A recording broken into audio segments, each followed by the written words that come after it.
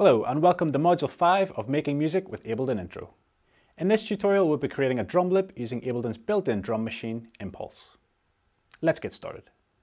Okay, so if you go to your Ableton Live Intro project and go to File and create a brand new live set.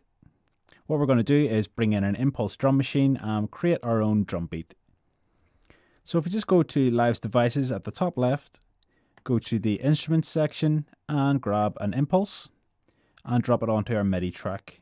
And then we're going to use the techniques that we've talked about before. So we're going to rename this track by clicking on it, right clicking and rename. And we're just going to call this one drums. And now all we need to do is actually drag our samples in. So alongside this course uh, is bundled some drum samples and we just need to point one of our one, two or three browsers here to actually find those samples. So I'm just going to go to number three and then I'm going to click at the top and as I've downloaded my course to the desktop I'm going to go down to desktop and then it's make music with Ableton intro.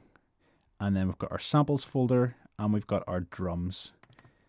And in here we can preview all of the samples as long as our headphone icon is selected blue. And if I just want to bookmark this I can click at the top again and click bookmark current folder so I can always access this folder at any time by clicking and selecting it from the list. So I'm going to click on the kick drum and I'm going to drag it and drop it into the first pad on our Impulse drum machine. Our second pad, I'm going to click and drag our snare. Our third pad is going to be our closed hat. Our fourth pad will be our open hat. And then that's it. We'll just use these four. And if we just use the preview buttons, we can make sure that they all sound okay.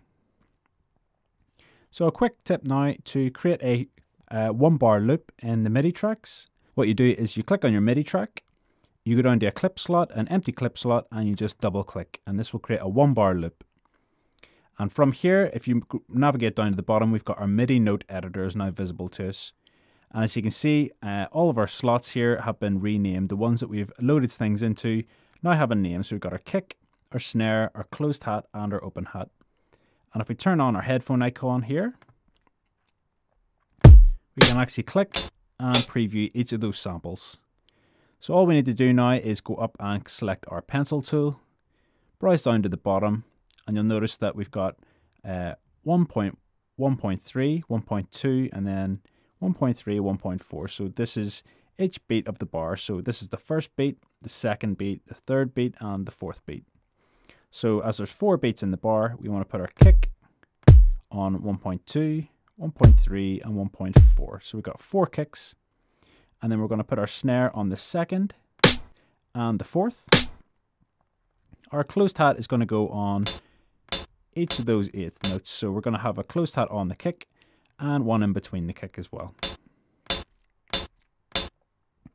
Our open hat, we're going to play it round going to put it in between each kick.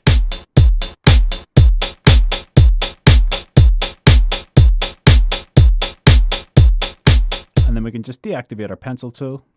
And we obviously need to bring the volume of this back because they're getting a bit loud. So if we just click on the track volume of our mixer.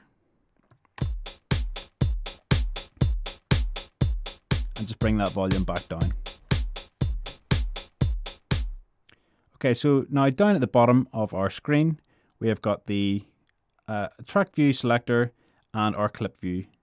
So at the minute we're in our clip view, which allows us to see all of the notes that we've imported or drawn into our clip. If you want to see the track, we just go down to the bottom right and select the track view selector. And this will show us our impulse drum machine again. And we're just going to edit some of the values in here just to bring the volumes back. So I'm going to go to the closed hat to begin with. So if we double click on the closed hat or just single click, I'm just going to hit the solo button, which is the button just to the right of the preview. And I'm going to bring back the decay time just to make it a bit more clicky.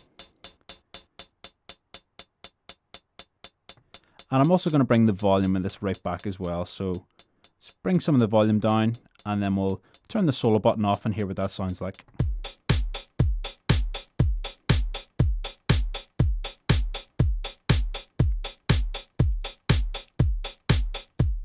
Now if we go to the open hat, what I'll do is I'll just bring the volume of this back as well. And we'll turn the decay time up slightly just so that more of that gets heard. And then if we just go to the snare, I'm going to turn the decay right up.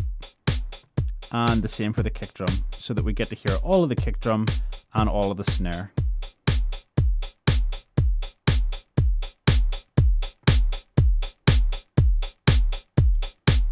And then we can just hit stop there to stop that track from playing. So at this point, what I'm going to do is just go up and click File, and we're going to save our set. So I'm going to go to Save Live Set As, and then I'm going to browse to our desktop. I'm going to go to our Making Music with Ableton Intro folder, click on the Project folder, and then our Ableton Intro project. And then I'm just going to rename this, and I'm going to save it as Module 5.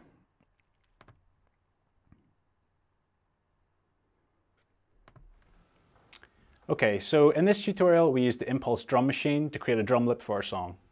In the next video we'll have a look at Ableton's simpler device, which will allow us to create a bass line and some synth sounds to accompany our drums.